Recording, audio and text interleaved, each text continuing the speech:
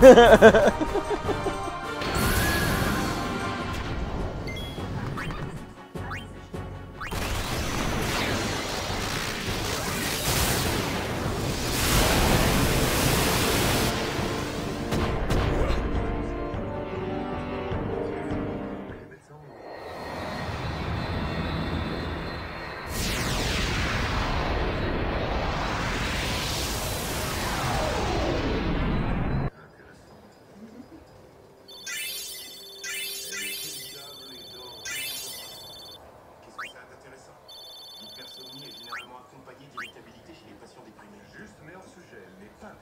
We escaped with our skins intact, but Yuna lost something. I could already tell her faith was shaken. Yevon had betrayed her.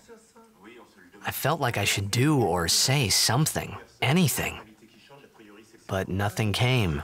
I was just as lost as she was. And then,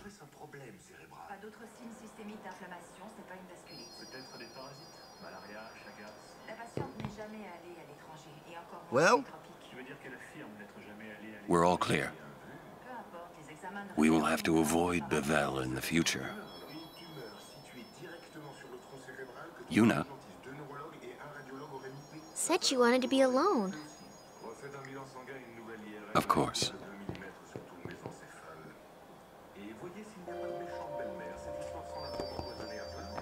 Must be tough for Yuna. We leave at daybreak. If Yuna figures out where we're going, that is. Maybe you should talk to her. I feel kind of bad leaving everything up to her, you know?